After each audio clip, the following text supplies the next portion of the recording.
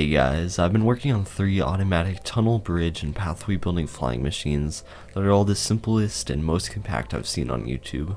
The one I'll be showing you in this video travels through the lava oceans of the nether and creates a two wide basalt bridge with handrails. And it's all self-built by this flying machine right here, which is only 3 blocks tall, 4 blocks wide, and 4 blocks long. When the machine is in action, it moves through the lava dragging soul soil and blue ice causing basalt to be formed. It also only travels in one direction, so once the machine crashes, it's pretty much over. So that's pretty much this machine, it drags these two materials through the lava, which causes basalt to be formed and it leaves that behind, creating a bridge that's 4 blocks wide in total, with two side rails so you can just walk right along it without even falling off. So now we can get to work on building this thing, the first thing we need to look at is the resources you need to make this. So the first row of resources is the exact amount of materials you need to build up the flying machine itself, one optional block I have in the second row is a note block which you could use to launch the machine. And we also have some cobblestone and fire resistance as some other optional stuff. The cobblestone could just be any block that you could use to clear up some of the lava, and fire resistance is just going to be nice since we're going to be working near a lot of lava. So now that you collected all of your materials, we need to find a spot that we actually want the bridge to be built. So once we launch this thing, it will only travel in one direction, so we'll just get one straight bridge, and there's no way to really turn it unless you rebuild the flying machine to be oriented that way. So you gotta pick out a nice clear area or wherever two spots you want to link up. So we're gonna start here and it's gonna end up going this way to whatever it crashes into along this way. So now to get our flying machine built up, what I'm going to do is dig out a space here that's big enough to house the flying machine, and I'm going to dig into the actual surface so it could be out of the way of the lava. So to do that, we're going to go to the side that we want the flying machine to end up launching into, and we're going to dig out a 6 wide space. So there's one, two, three, four, five, and 6. And then we need to carry that 6 block wide thing 6 blocks back to where there's a 6 by 6 square all completely out of the lava. So this is what the space should look like. The height of it doesn't matter much yet, but this thing should be 7 blocks back since you want to leave an extra layer of blocks to keep lava from flowing in, and then you want this thing to be 6 blocks wide, so we actually have a 6 block cube in this space just like that. So now take that 6 block cube and you want to dig this down 4 blocks deep.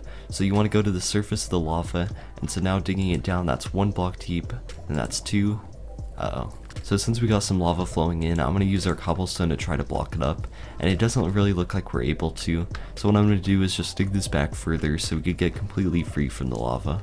So it pretty much turns out that we got a terrible spot to build this thing and the reason why I'm keeping this in the video is this is something that could definitely happen. So if you find a spot like this where there's too much lava and you don't want to have to deal with it, you could pick out a new spot or another option is to actually make a cube and this one you're probably going to need fire resistance to go down into the lava to do it.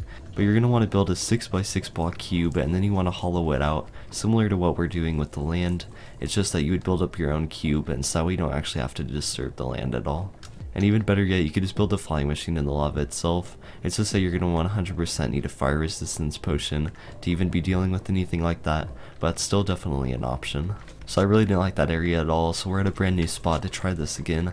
So what we're going to do again is go to the site that we want the flying machine to be launched, dig it out 6 wide, 6 blocks back, and 7 so that way you have a perimeter away from the lava, and I'll show you that all again, and then we could get to work on building it up inside.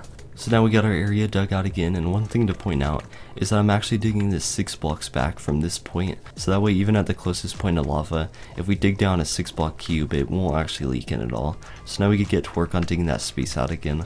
So let's look at the surface of the lava, this is layer 0, so now we want to go down 1, 2, 3, and 4. And now just dig out that 4 block deep space all the way inside your 6x6 cube and this time it was a success. We have a 6x6 square that goes down 4 blocks deep and we don't have any lava pouring in from the walls. So I'm going to be building my flying machine that when we launch it, it will fly in this direction, so I have a big arrow to show that. But now we can actually get to work on building the flying machine inside of here. So get some filler block, it could be cobblestone or slime or anything, and place it right here where you're two blocks away on this side and one block away from the back. And we're also starting with the very back of the flying machine, which is the side that it's going to be flying away from. So now that we have that filler block, we can place soul soil on top of that, and another one next to it, so that way we have it centered on the two block center. Now I'm going to place another filler block on both sides of this, so that way we could place some soul soil on top of it.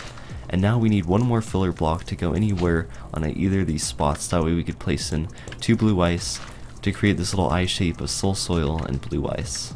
And so just for a quick recap, that should be one block away from the back wall, one block away from the floor, and then one block away from either the side walls. So now we're going to take our slime to link up all the soul soil. So I'm going to place it off of any of these soul soil blocks, and then I'm going to loop it down like a smile, all the way down on the bottom to create this U shape, and then for the blue ice you just need to place two off of it, both just connected directly to the blue ice. And now that we have most of the slime in place, we could place down our sticky piston.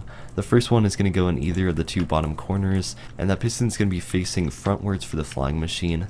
The next one that we need to place in needs to face the other way, but in order to place that we're going to place a slime block in front of this piston and one to the side of it, and now we're going to place a piston off of this slime block facing in the opposite direction of our first one. So now we have both our pistons in place, and now I'm going to link up this slime to the blue ice slime, and I'm going to do that by lifting some slime up here and connecting it here. And now all we really have left is just to place in the observers. So we want to have one pointing into this piston, and then one pointing into here. So both the faces of those observers should be pointing upwards, and the little redstone dot should be pointing directly into the pistons. Now the machine would be able to be launched right now if we placed down a note block in this space, but we don't want to do that yet since we still have a wall that it would just immediately run into. So our next step is pretty much just to open up the garage door of this place and just to tear out this entire wall. And one thing that you really got to be careful of is you got to watch out for the lava you got to make sure that you dig out this entire place so it's 4 blocks deep so that we have enough room for the flying machine. Because if this area isn't 4 blocks deep, the flying machine will actually get stuck to the land and be unable to move. So this part is definitely going to be tricky, so just try your best to get this all dug out, and if the flying machine gets stuck, it's not too big of a deal, and I'll show you how to fix that. So it looks like we actually have a pretty frustrating spot where we're a decent distance out and there's still stuff for it to run into. So this was another not so ideal spot, but I'm just going to work on digging this all out except for one block so I can show you what it looks like when the machine gets jammed and how to fix it. So I'm now going to launch the machine, but I still have some material, so obviously you don't want to do this yourself, you want to just try to get the machine to launch straight out, but I'll show you what happens if it does get stuck. So what we're going to do is place down our note block on the observer face that's still exposed, and that finishes off the flying machine and that gets it launched, but you can see how since we still have some of that debris it actually got stuck, so what I'm going to do now is go and try to find the source of the problem and tear it out, and as you can see it's sticking to all this stuff down on the floor. So I just tried my best to remove whatever nether netherrack was in the way. Another thing to point out is that if your note block catches on fire, it actually can't burn. So it might light on fire, but you actually don't have to worry about it. It's kind of funny though. But now to relaunch the flying machine, now that we've gotten rid of the thing it ran into, all you have to do is click on the note block, which it looks like we have to get rid of this fire to do so. And now that means that we still have some kind of clog in the system that we need to fix. So here's the problem, we still have some stuff stuck to the bottom, so now it should be able to go. So I'm to launch this thing, and so there it starts to activate. Sometimes it takes a little while to get going, but now you can see it's getting basalt 100% of the time. So that's what the flying machine will do, it will carry on as far as it can, which it looks like it doesn't have too much farther to go until it runs into this clump of netherrack and stuff. But this is what the bridge will do, will automatically build this basalt bridge. The only other way that this thing could get stuck is if the bottom of it gets stuck to any weird stuff along the floor, but usually you should be okay, this thing has a pretty good clearance, it doesn't run into much. One biome that is an issue though are the basalt delta since they actually have spikes that rise up in the lava, and it could run to those. But now we get to see the flying machine crash, and so what we could do is remove this stuff, or we could rebuild it to add a turn, or anything else like that.